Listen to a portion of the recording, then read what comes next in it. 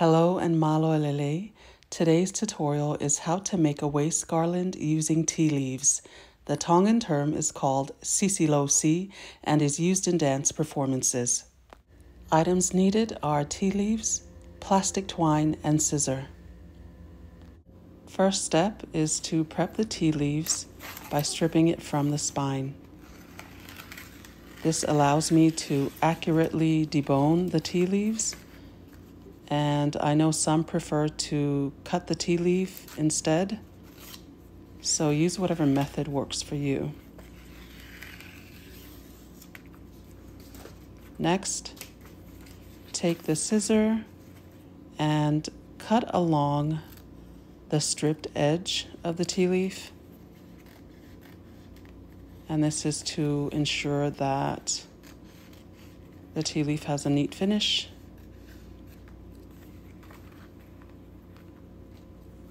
And once you're done with this step, then the ti leaves are ready for use.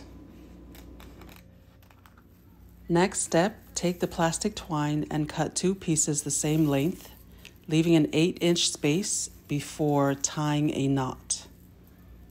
And usually I have already pre-measured the person that will be wearing the waist garland.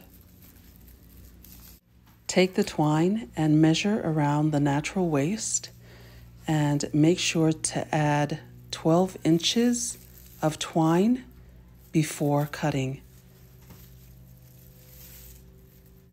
In determining the length of the ti leaves, measure from the waist to the knee.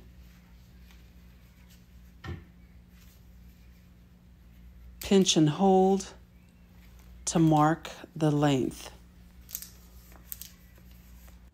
Last step, take the twine on the knotted side and wrap around the big toe.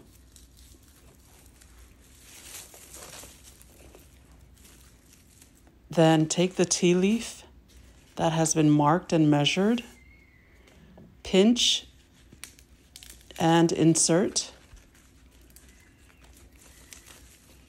and tie, hold in place with one hand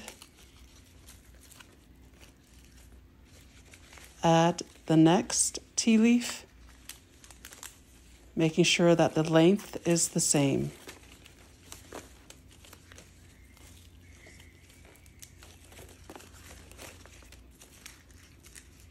Now take the ti leaf from behind and fold it into the front, making sure that the shiny side is facing the front.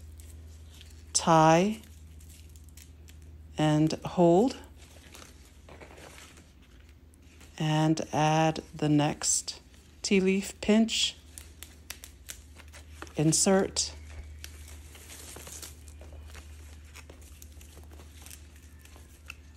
and tie and hold.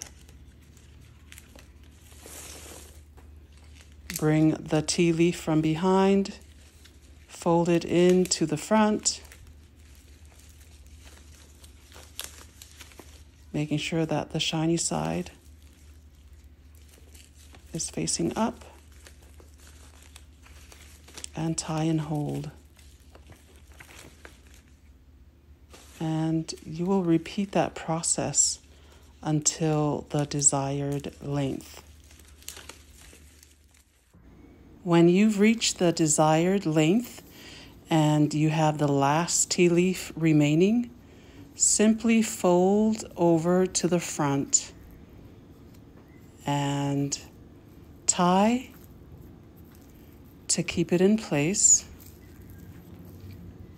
And at this point, I make a knot.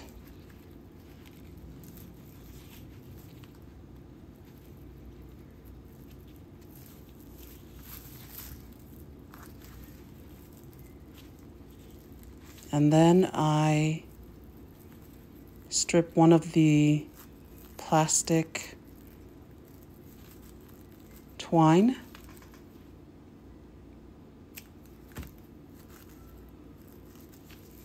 Cutting off the excess there. And I did that so that I can braid it.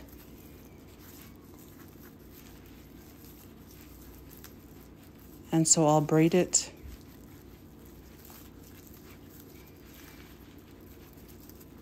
until the end of the twine.